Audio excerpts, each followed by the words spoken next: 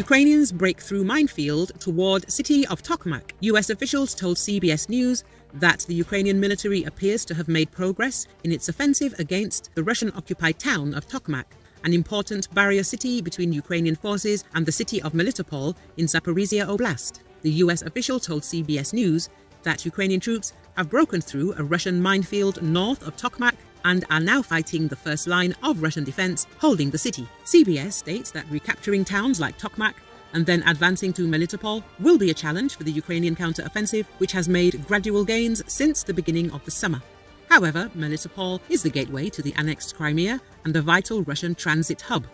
Melitopol is critical to Ukraine's counter-offensive because it is considered the gateway to Crimea.